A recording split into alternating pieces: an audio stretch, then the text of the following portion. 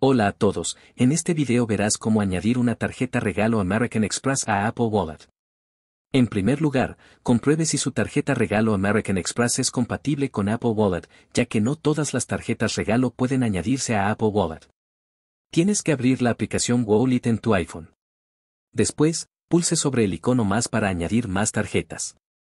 Si tu tarjeta regalo es compatible, deberías ver una opción para añadir una tarjeta de crédito o débito, así que pulsa sobre ella para continuar.